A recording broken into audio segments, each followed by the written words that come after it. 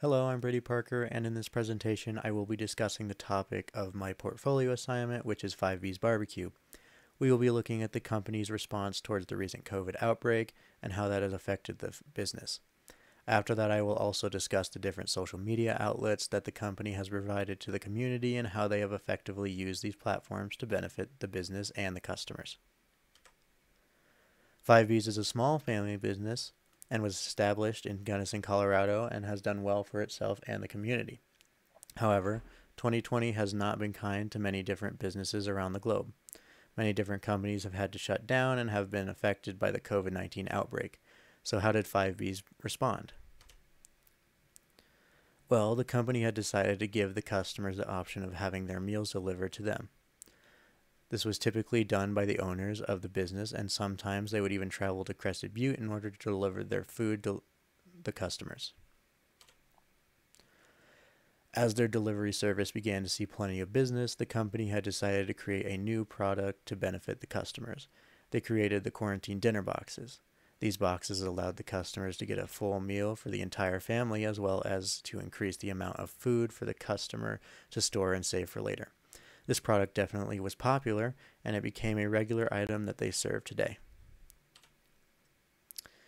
As the world started to see plenty of improvement regarding the pandemic, the business began to change from delivery into curbside pickup. This allowed the customers to call ahead their orders and pull up into the parking lot of the restaurant. The customers would tell the company their name, as well as the make and the color of their designated vehicle, so the employees could differentiate orders for each customer. Eventually, they also allowed for the customers to come to the front window in order to pick up. By having the front window open to customers, they could pick up their orders in person, and the window allowed the customers to place orders with the staff.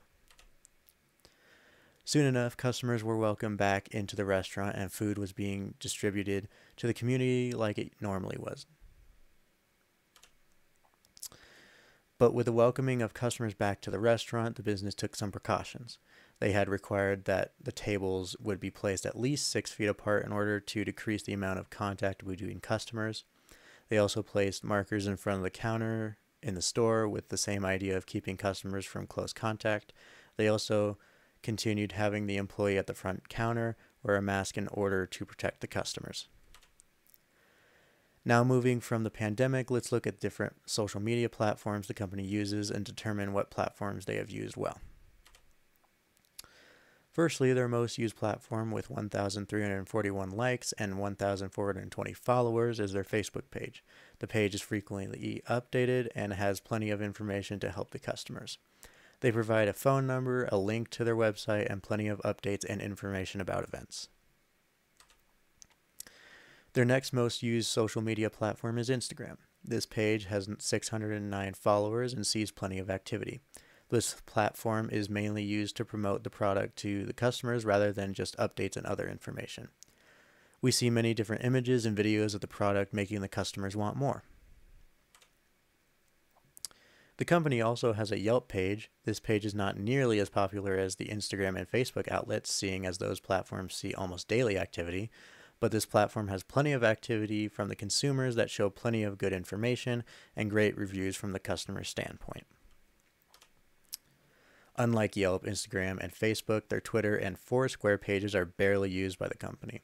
The only information that Foursquare has is one review from 2018 and five photos from before 2017. Their Twitter was created on April 10th of 2019 and hasn't been used since.